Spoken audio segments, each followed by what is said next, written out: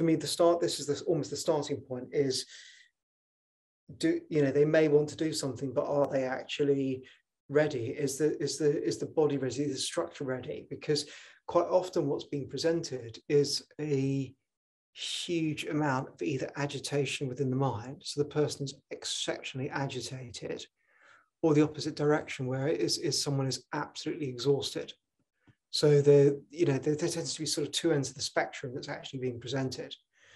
Um, and I need, I know that in order to work with, even to start to work with it, I, I need to be able to settle someone's mind. I need to be able to get the mind to a right state and a right kind in order to begin to even work with this. And this it's not just one session, it's a series of actual things that need to be set up because in order to deal with a trauma, I need to get the mind sort of in a settled place.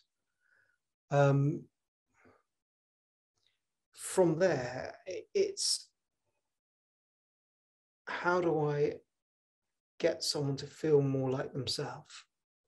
And the reason that these sort of three steps almost need to happen is that before we even begin to face a trauma, is that someone needs to be in in a quite a good, you know, stable place. Otherwise, things are going to keep repeating themselves again and again and again and again.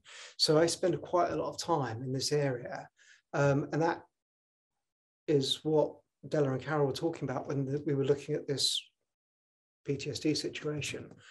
Is that a lot of the time it, it's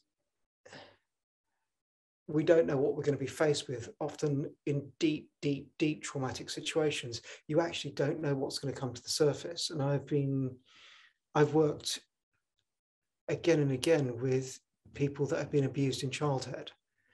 And almost in a way, uh, I don't know how to say this, how this will come across. I'm really sorry if it comes across in the wrong way. Is that for me, it becomes very obvious very quickly through the interaction what's happened. But for the person, they actually don't know what's gone on in their childhood.